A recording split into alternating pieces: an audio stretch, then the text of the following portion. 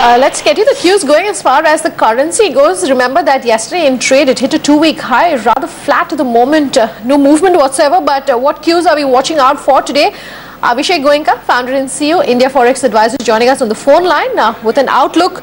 Abhishek, uh, what cues are we watching for today? How do you think they're going to? Uh, how do you think the rupee is really going to pan out versus the dollar? The dollar, of course, has seen some bit of weakness versus most of its peers. That's right. I think overall the stocks today has been up, uh, plus the Yellen statement which happened a couple of days back, where they took a cautious stance on the interest rate hikes, has ultimately made the dollar slightly weak in the international market, and that's what is happening with the rupee also. So rupee is slightly strong because of the optimism, and then when we have seen that post-budget over the last 10 years, if you look at the data, seven out of 10 years, rupee has slightly appreciated to the extent of half percent to 1% post-budget. And mostly uh, this could be a possibility provided all things are good in the budget.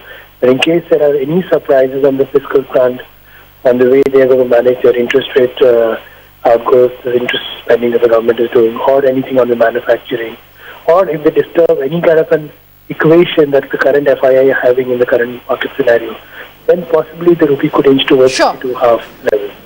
All right, Abhishek, appreciate you joining us with that quick take. Uh, Abhishek, of course, was talking about uh, uh, the action.